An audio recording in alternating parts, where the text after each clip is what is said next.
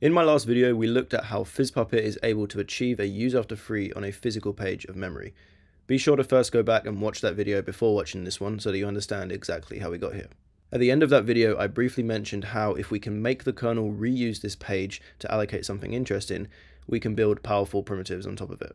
So today in this video, we're going to dig into that further and make the kernel reuse that VM page for object allocations that we can then leverage to build read and write primitives. As a quick recap, in the last video we looked at how by triggering an integer overflow in the kernel's VM subsystem, we were able to create a state where the userland process had a dangling page table entry in its physical memory map for a VM page that has been released back to the page allocator. The dangling PTE provides us read and write access to the underlying physical page that the freed VM page represents. That VM page is currently back on the free list, along with many other VM pages ready to be recycled and used for something else when the need should arise. So how can we as the attacker influence the system such that our target VM page gets reused by the kernel and that the kernel uses that page to allocate some object of importance that will be useful for us to build primitives from. There's plenty of ways in which we can make the kernel allocate new memory all from within our own process. For example, most system calls require the kernel to allocate various data structures or objects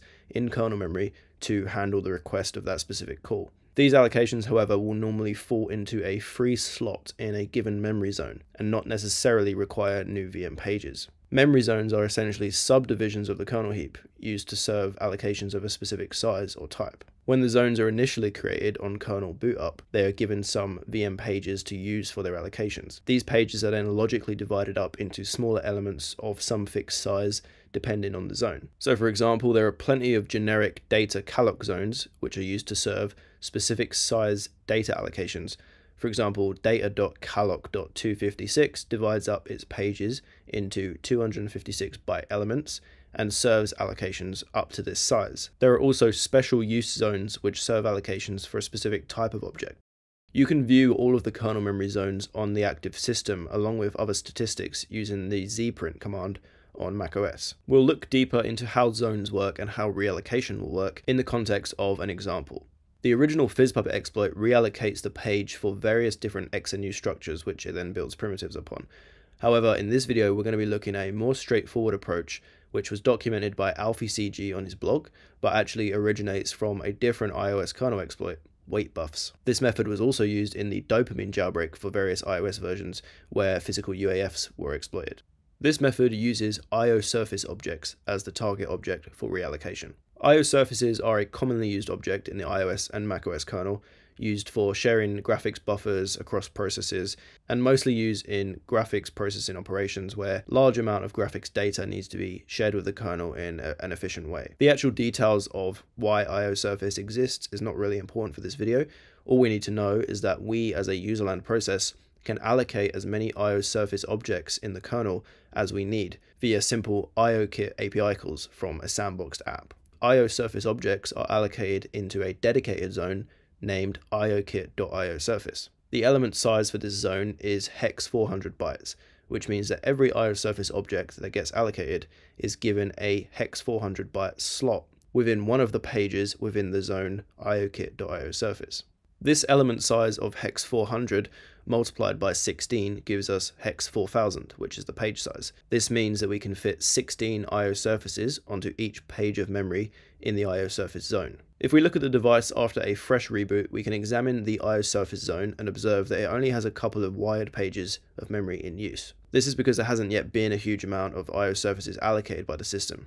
We can create a new IO surface by invoking the external method create surface fast path from our sandboxed app. And then we can even stick this piece of code in a loop that iterates 10 times. And this will trigger the allocation of 10 new IO surface objects in the kernel, each one being allocated into an element slot within a page in the IO surface zone. So what happens when the zone begins to become full? We can actually keep allocating more and more IO surfaces without freeing any of them. So soon enough, all of the 16 elements per page in the IO surface zone will be filled. When this happens, the kernel will trigger a zone expansion by calling the function zone expand locked and passing the zone as the first argument. A zone expansion involves adding new virtual pages to the zone to facilitate new future allocations. And of course, these new pages will come from the free list that our target VM page was added to earlier.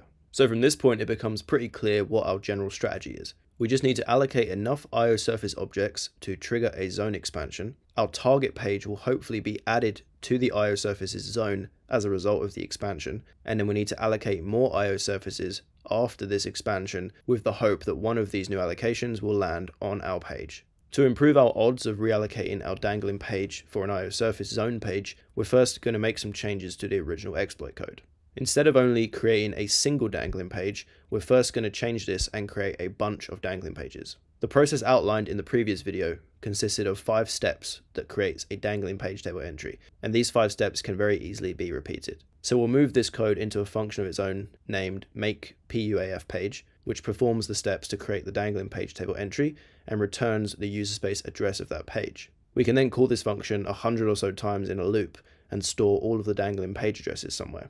This now puts us into a position where we have multiple dangling PTEs and multiple freed VM pages on the free list in the kernel. Next, we'll enter an iterative process where we create X amount of IO surface objects and then immediately scan all of the hundreds of dangling pages to see if one of the IO surfaces has landed there. If no IO surface object was found, we just repeat that process. Soon enough, some of these IO surface object allocations will trigger the zone expansion. One of the pages will be pulled from the free list and added to the IO surface zone, and then subsequent IO surface allocations should land on that page. Once we detect an IO surface on our page, we can just hex dump all of the contents here from userland, and we'll see a bunch of kernel pointers and other fields that make up this IO surface object. The original technique here actually involves setting a very recognizable value onto the IO surface via legitimate API calls as the pixel format, which we can then very easily see from the hex dump each time, and this lets us know 100% that an IO surface object was allocated on that page and not some other kernel data structure by chance. For even more introspection into what happens behind the scenes here, I actually wrote some code to dump out all of the kernel addresses for the VM page structures,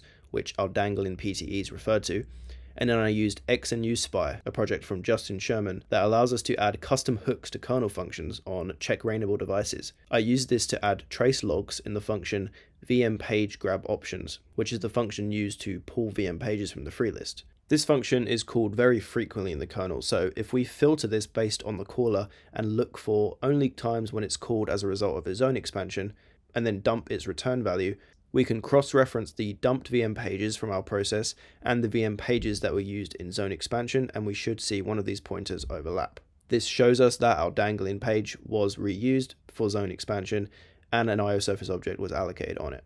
At this point, we're completely free to read and write to this IO surface object because we still have read and write permissions to that underlying physical page due to the dangling PTE. With some creativity, we can go on to build read and write primitives for the wider kernel address space by modifying certain pointers within the IO surface object and then interacting with the IO surface object through legitimate API calls to get and set data. Hope you guys enjoyed this video. Again, all relevant links will be left below in the description.